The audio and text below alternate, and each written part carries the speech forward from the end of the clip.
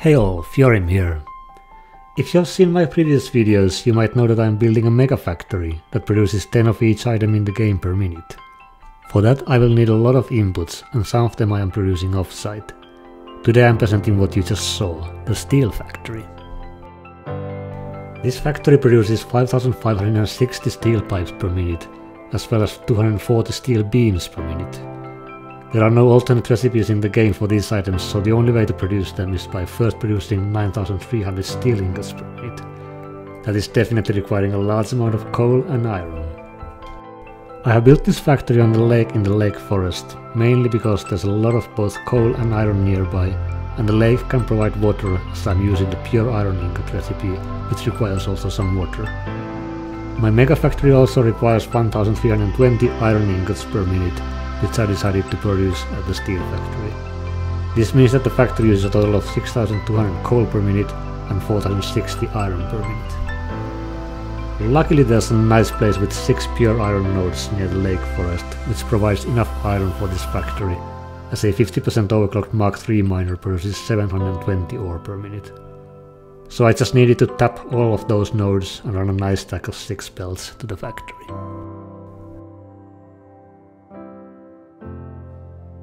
The coal I needed to collect from a larger area, in the red bamboo fields and the maze canyons.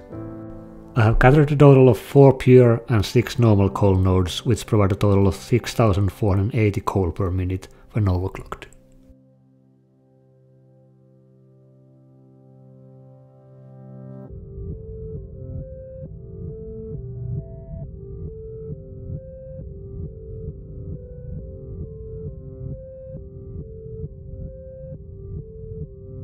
While I'm showing the time lapse of the build, let me run through some of the numbers for this factory.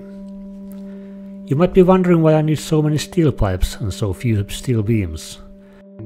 The answer is simply that a lot of the recipes I use require the pipes.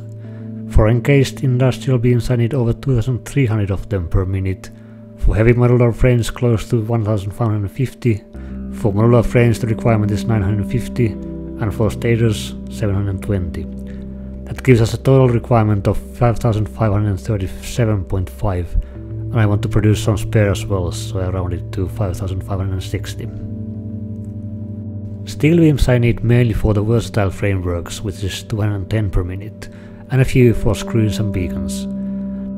That means that if we produce 240 per minute, there will be some spare ones as well. Finally, I mentioned that I'm producing also 1320 iron ingots in this factory. These are for iron plates that I'm planning to produce at the Mega Factory. The basement of the steel factory is reserved for the load balancers and the water extractors.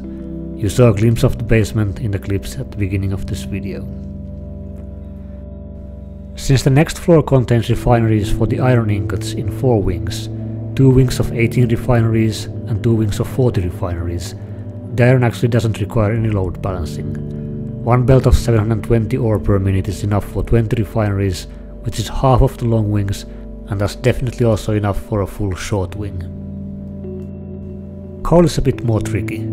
I have 4 belts of 720 coal per minute and 6 belts of 600 coal per minute.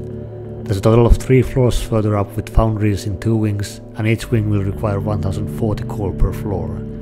So I'm dividing the coal to 12 belts of 520 each and sending two of them to each wing in each floor.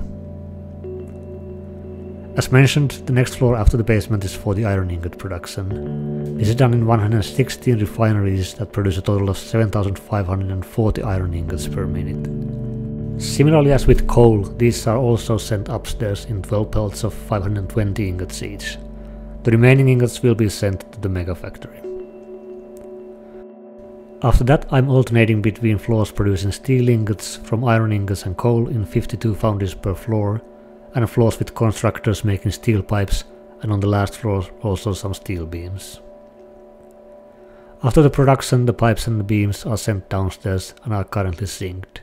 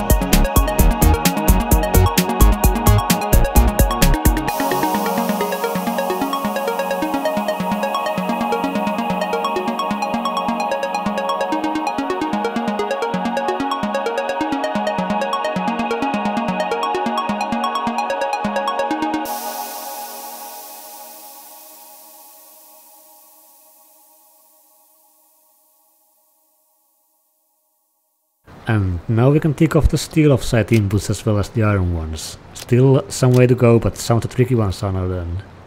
Oil inputs as well as the looming mega nuclear power plant are still left, but we are doing good progress. I hope you have enjoyed this video. See you soon for the next one.